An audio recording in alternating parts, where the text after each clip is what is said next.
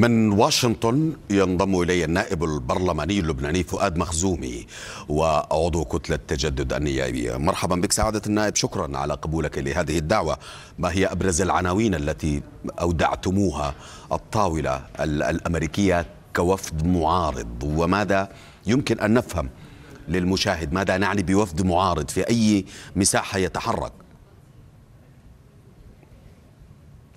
هذه المحطة السابعة يلي بالجولة اللي ابتديناها من حوالي سنة ابتداء من ستوكهولم مرورا بباريس ولندن وبرلين وعدة دول اللي كان إلى علاقة بالقرار بالأوضاع بالمنطقة. ابتدينا الاختلاف هذه الجولة ابتديناها بنيويورك والتقينا بمساعدة الأمين العام دي كارلو وبحثنا معها الأوضاع المتعلقة بجنوب لبنان كيف فينا نعزل لبنان عن الحرب يلي موجودة وفرضت علينا. بحثنا قرار 1701 وطبعا وجود الوجود السوري بلبنان يلي بنعتبر إنه موضوع صفى كثير مهم إنه نبحثه على المستوى العالمي. ذكرت أنكم بحثتم عزل لبنان عما يجري في غزة. هل هذا ممكن وواقعي؟ وهل وجدتم وجهة أو توصيف سليم من قبل الجانب الأمريكي لحقيقة الوضع في لبنان ارتباطا بمسألة الرئاسة مع وضع الجنوب مع تنفيذ القرار 1701 طبعا يلي نحن شفناه إنه هناك في عملية آه، آه، عمل جدي عم تقوم فيه الإدارة الأمريكية وكمان من الأمم المتحدة لعملية عزل لبنان عن الوضع ما يحصل بالجنوب. طبعا نحن كنواب نمثل مجموعة آه، أحزاب وكتل نيابية اللي تمثل أعضاء أكثر من 50% من المجلس النيابي. نحن موقفنا واضح وصريح. لبنان نحن نتمنى الخير وبدنا دو حل الدولتين وإنشاء الدولة الفلسطينية بس مش أنه تكون لبنان هي البلد يلي يدفع دم ويدفع دمار كل مدة كل 10 سنوات 15 سنة لأنه في هناك محاولة لفرض معادلة جديدة بالبلد. يلي شفناه نحن بالإدارة الأمريكية ويلي شفناه بالأمم المتحدة أنه هناك فعليا نية جدية للتعامل بهالموضوع واليوم مثل ما بنعرف من جر لبنان لعملية آه، ربط المسارين يلي هو المسار اللبناني بالمسار ما يحصل بغزة هو حزب الله والحكومة اللبنانية م. ونحن كممثلين للشعب يلي لم نعطي ثقة لهذه الحكومة كنا عم نعطي صوت ونحن مستعدين نجتمع مع نشتغل مع المجتمع الدولي لعملية مساعدته لحماية لبنان من هذه المرحلة م. يعني هنالك طرف حاضر غائب يعني على الأقل في مستوى النقاشات هل دار الحديث عن سيطرة طهران على قرار الحزب وكيفية التواصل يعني. ليس الحزب لا يمثل جهة حكومية يمكن التفاوض معها بشكل آه، مباشر ولكن يمكن التفاوض. ودائما هنالك بوابات خلفية بين واشنطن وطهران في مختلف الملفات. سيدي لا شك إنه الكل بالمنطقة لما بعد 7 أكتوبر لم يتوقعوا طول هذه الحرب والدمار اللي عم يحصل على كل الجهات. أنا أعتقد إنه اليوم آه، ما في نية ما شفنا في نية فعلية لإنه إيران تخوض بالحرب. إيران عم تخوض الحرب بواسطة حلفائها بالمنطقة ووسائلها بالمنطقة بما فيهم حزب الله بلبنان. اليوم الفرق إنه حزب الله دوره بلبنان يختلف عن دور الحوثيين أو دور الحج الشعبي أو دور حماس. مشان هيك حزب الله بده يعمل حساباته بطريقة مختلفة.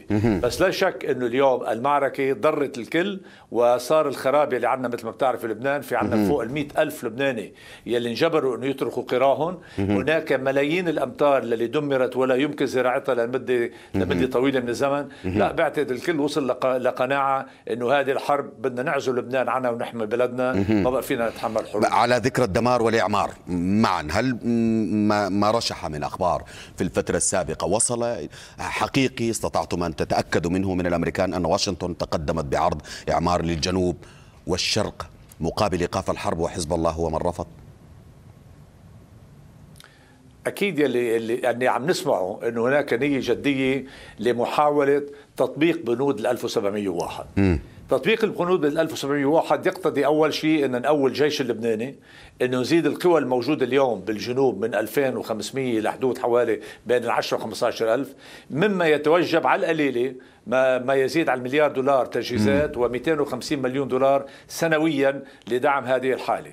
بس طبعا يلي نحن بحثناه مع الإدارة إنه هي مش فقط إنه عملية إنه نقوي جيشنا بجنوب.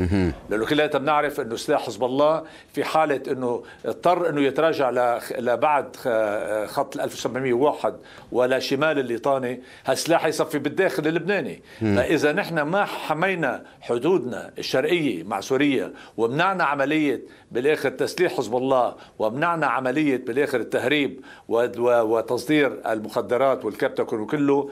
كل شيء بنعمل إنه زحنا المشكل من الحدود الإسرائيلية وحطيناه بالداخل اللبناني. وكلياتنا بنعرف بعد 2006 نفس المعادلة صارت وصار هناك احتلال لمدينة بيروت بال 2008 المقاربة لديكم مدى ملامستها للراهن والواقع والمقاربة الأمريكية الخاصة بموضوع الشغور الرئاسي وكيفية الحل طبعا ولا يمكن عزل ذلك الآن مع ما يطرح من تسوية شاملة للملف الرئاسي وتطبيق القرار وخلق الهدوء في جنوب لبنان تحديدا.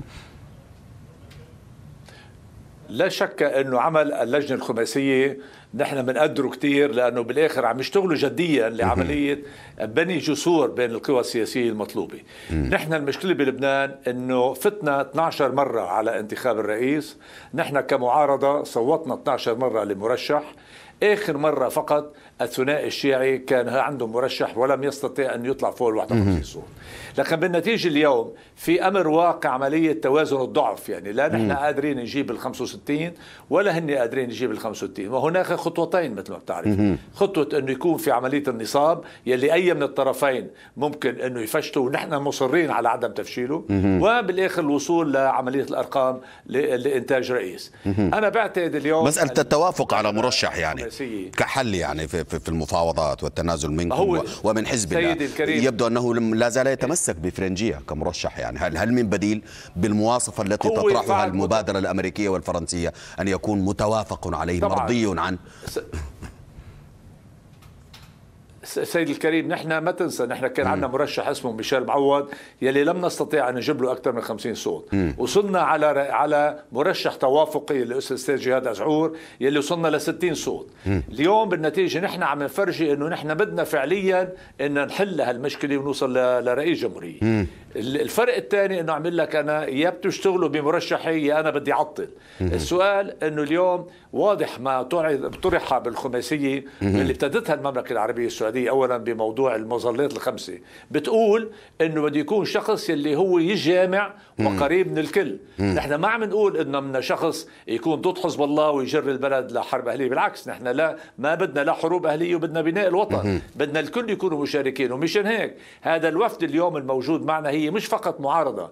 هناك ممثلة النائبة ندى البستاني عن التيار الوطني الحر يلي هو كان قريب من حزب الله. يعني فعليا نحن عم نكبر القاعدة الوسطية. لنقدر نوصل لحل وننتخب رئيس جمهورية ونفرض الإصلاحات يلي بالآخر بدنا نبني عليها وطن. نحن لا بدنا حروب ولا عملية مواجهة بدنا يعني خيار قائد الجيش الذي كان مطروحا هل بات بعيدا كحل؟